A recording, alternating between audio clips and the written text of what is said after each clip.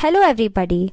In this video, I'll be discussing a trick to memorize the microbiology algorithm for gram-positive cocci bacteria. When we know that we have a gram-positive coccal bacteria to deal with, we'll associate them with newborn kittens and puppies. Because coccal bacteria are spherical in shape and newborn kittens and puppies cocoon up in a spherical shape after their birth. Due to the similarities in the newborn kittens and puppies, we'll perform a test to classify whether they are cats or dogs. This test is called as the catalase test. A negative catalase test means we are dealing with a dog who likes bones and, and hence looks like a long straight bone, which is Streptococcus bacteria, which means coccal bacteria arranged in a long string like structure. If we obtain a positive catalase test result, it's indicative of a cat who likes bunched up grapes. Therefore, it is like the Staphylococcus bacteria. First, let's discuss the algorithm for the cat or the Staphylococcus bacteria. Once we know we're dealing with a cat, we put them under the coagulase test. What is the coagulase test, you may ask? It is a test where we'll give the cat an option to choose between a bone and grapes. We obviously want our kitten to pick the grapes because that's what it's associated with Staphylococcus. The kittens that select the grapes are the golden kids or the Staphylococcus aureus since they give a positive coagulase test. Now, why are the golden kids Staphylococcus aureus? Golden kids are Staphylococcus aureus as this bacteria is observed as golden under the microscope. The kitten that choose the bones in the coagulase test are going to have to undergo another test called the novobiocin test. Here in this test, they'll be presented with grapes and bones and are once again expected to pick up the grapes. The kittens who pick up the grapes give a positive reaction and are hence going to be at the top. Therefore, they are known as Staphylococcus epidermidis the bacteria which is present on the topmost layer of the skin. While those that fail to pick up the grapes, even in the no- novobiocin test, are going to be at the rock bottom with the fungi and the saprophytes, and are hence called as Staphylococcus saprophyticus. Now, how do we remember the novobiocin test? This is the final test to differentiate between Staphylococcus saprophyticus and Staphylococcus epidermidis. If you break the word novobiocin, it has the word no, bio and sin, which means if these cats perform the sin of choosing the dogs, then they will have no bio or no life. That's how I remember the novobiocin test. This was all about the testing for the cat. Now we'll talk about the testing for the dogs or the Streptococcus bacteria. Since dogs are highly aggressive animals, they may scratch and fight among other dogs, resulting in profuse bleeding. Hence, our first step after knowing that they are dogs is to test them with hemolytic testing or a test associated with blood. There are three possible outcomes for hemolytic testing. One is that they may perform complete hemolysis. Second is that they may perform partial hemolysis. And third is that they may perform no hemolysis at all. Now, three of these possible outcomes are represented by three Greek letters alpha, beta, and gamma.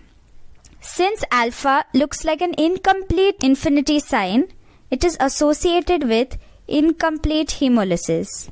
Since beta looks like a complete letter with no spaces, hence beta bacteria perform complete hemolysis.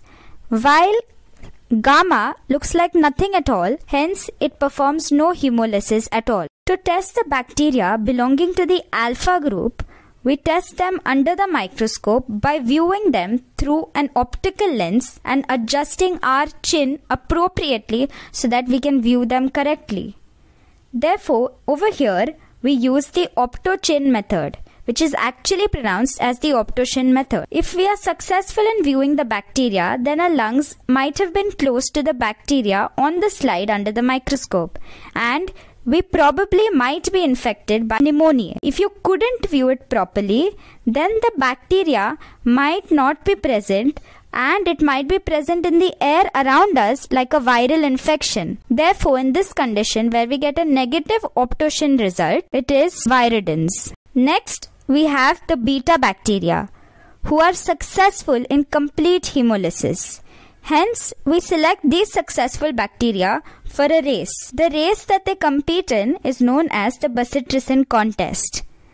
Those who win in this contest are allocated group A while those who lose the contest are allocated group B. Since group A participants won the race, they have pus oozing out of their legs due to the extensive work that they've put into the competition and are hence called as spiogens, while those that belong to group B have lost and have nothing with them, hence they have the prefix A before their name. They are Streptococcus agalactiae. Moving on to gamma, who have no hemolytic activity, we just ask them if they can merely grow in 6.5% of NaCl solution or not. If they can, we permit them entry and are called as enterococcus, while those that cannot even survive in 6.5% of NaCl solution are called as boring microbes with the capability of just blindly staring at the galaxies in the sky. Therefore, they are called as S. bovis or they are also known as S. gallolyticus. To revise this concept in a gist, we have gram-positive cocci bacteria. We first perform the catalase test to classify them as Staphylococcus or Streptococcus. Staphylococcus will undergo the coagulase test. A positive coagulase test indicates Staphylococcus aureus, which are the golden kids. A negative coagulase test means that they have to give the novobiocin test. In the novobiocin test, if they give a positive test, they are Staphylococcus epidermidis as they are on the top. If they fail even in the novobiocin test, which means they give a negative novobiocin test, then they are called as Staphylococcus saprophyticus. Next, we'll talk about the Streptococcus. We check the Streptococcus for hemolysis. We have three results for hemolysis alpha, beta, and gamma. Alpha is partial hemolysis, beta is complete hemolysis, and gamma is no hemolysis at all. Alpha bacteria undergo optochin testing, wherein a positive result is indicative of Streptococcus pneumoniae. A negative optochin test is indicative of Streptococcus viridans. The beta bacteria undergo a test called the bacitracin test. A positive result in the bacitracin test is indicative of Streptococcus pyogenes. A negative bacitracin test is indicative of Streptococcus agalactiae. Next, we talk about the gamma bacteria. Gamma bacteria are tested with 6.5% of NaCl solution. A positive test here is indicative of enterococci, whereas a negative test over here is Streptococcus bovis or Streptococcus gallolyticus. I hope this video was helpful in understanding this concept. That's all we have for today. Thank you.